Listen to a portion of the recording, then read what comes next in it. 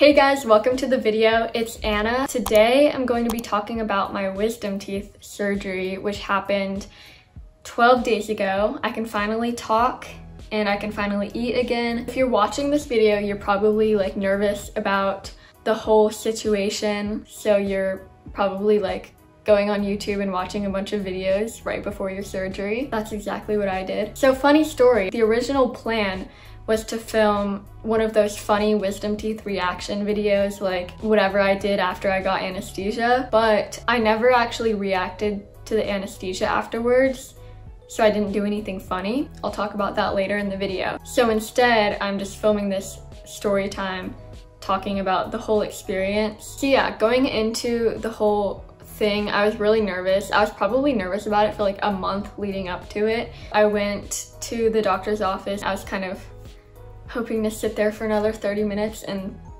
mentally prepare, but they called me right away and I was like, oh gosh, it's actually happening. So they took me into this little room with just a normal like dentist chair and all their supplies and stuff. They took my blood pressure and they started hooking me up. They had these little like sticky patches that they like, they put one on like my stomach, one here, and maybe one on my arm, I don't know. Those, those are just like monitors, I think. The worst part was they had to put an IV in me and they like couldn't get it into my vein because my veins are too small or something. So they were like poking around in there for a while and it really hurt.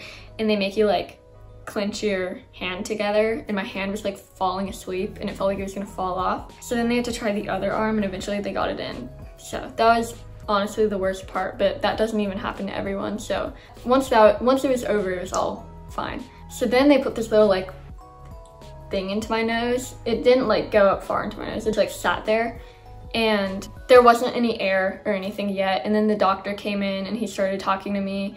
And when I got into the room, the nurse had said that they were gonna warn me when they were about to like put me to sleep, but they like didn't. So then all of a sudden the air in my nose started blowing. I think that was just the oxygen.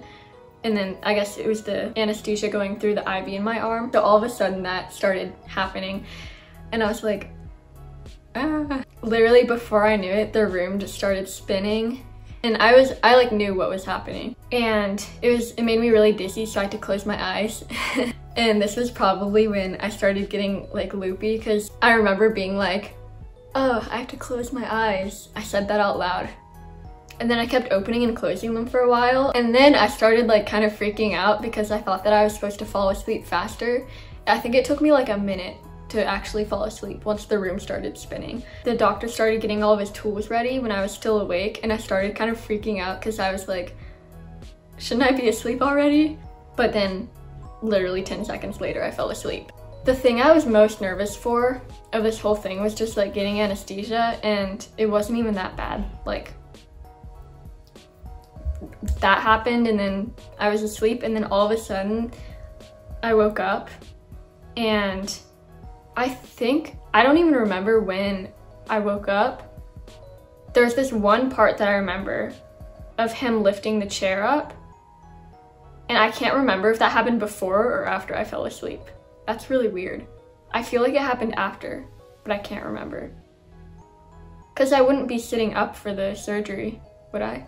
I don't know, it's creepy. But then yeah, I finally woke up and I was like aware of my surroundings and I remember saying, is it already over?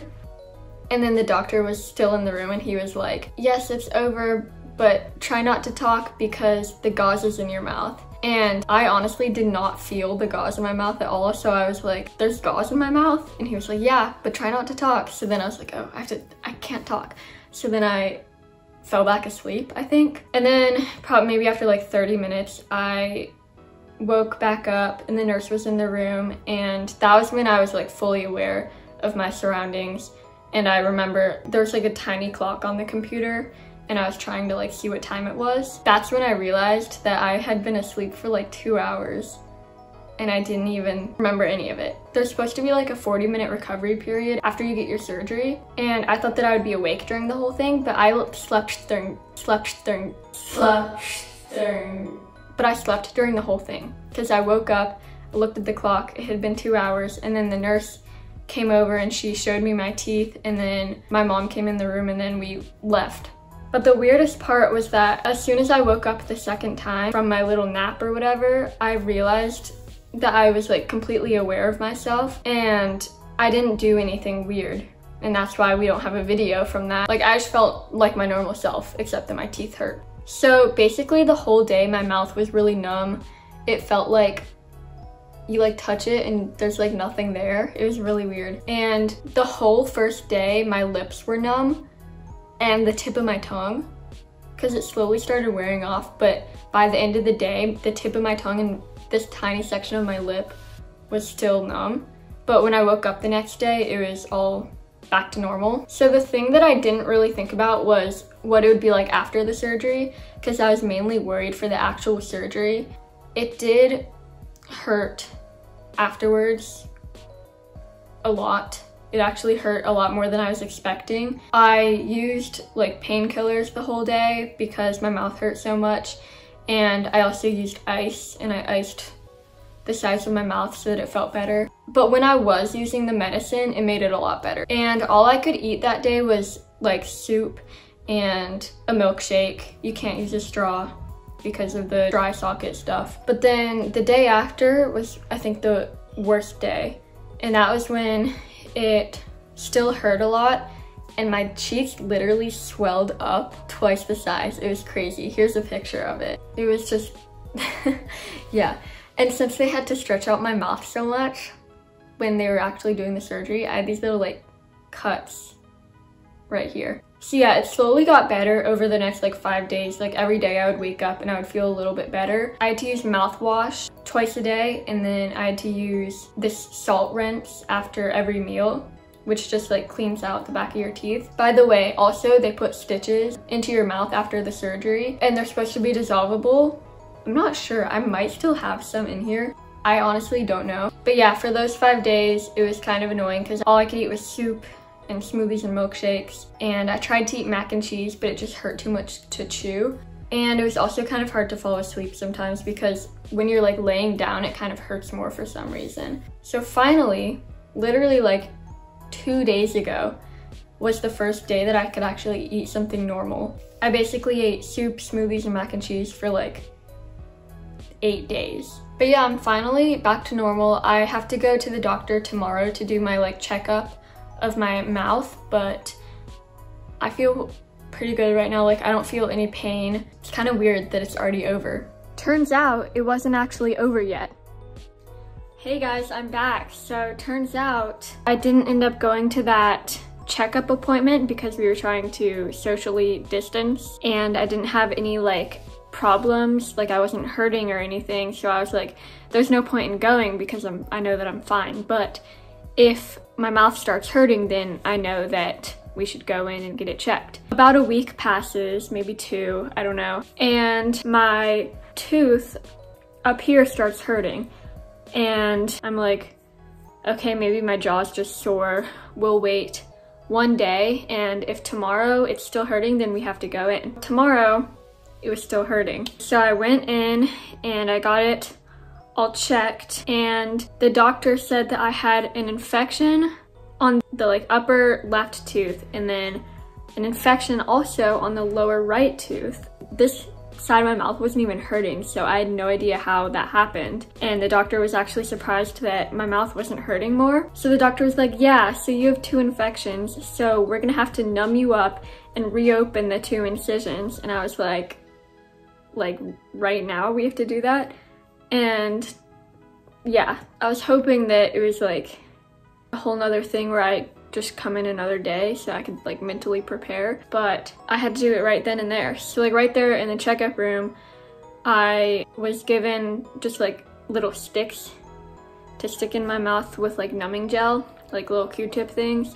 And then they had a little shot thing to give me actual stuff that would like really numb me up. I feel like on this one I didn't really feel the shot because I guess it was like really numb already from the gel.